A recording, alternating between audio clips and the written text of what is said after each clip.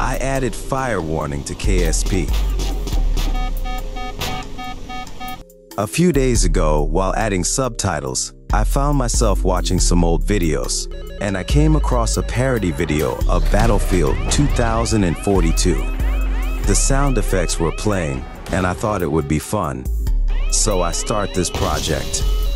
To do this, I first needed to familiarize myself with the excellent system of BDArmory. So I downloaded great open source code, prepared Visual Studio, and gathered countless references. Well, let's move on. How does the fire alarm get triggered? That's right, it goes off when there's a fire. This leads us to various codes that ignite fire, specifically in BulletFX. This means that fire occurs when a bullet is fired. So let's take a closer look at that. Depending on the caliber and type of parts, well, that's the general idea of the code.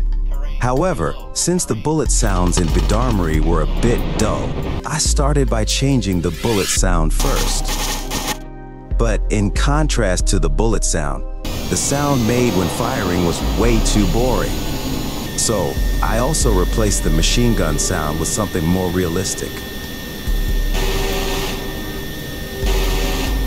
After adding the new machine gun sound, I realized that I needed a target to shoot at. I added a target, but the sound wasn't playing on the radar, so I had to verify visually if the scanning was working. That's when I decided to add the scanning sound.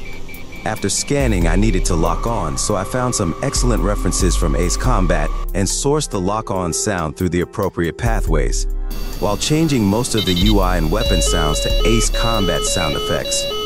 Just when I was ready to enjoy this fitting flight shooting game, I realized that my chaff and flares had run out.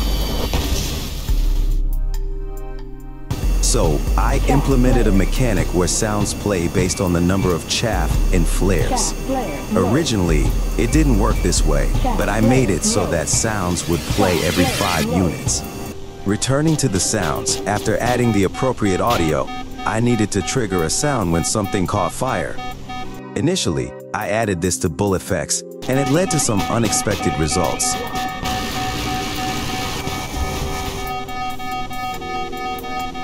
After several experiments, I realized that handling it in BulletFX was quite inefficient. So, I changed it to run in FireFX. Regardless, it works well now. Oh, now I should enjoy this fun flight simulator, right?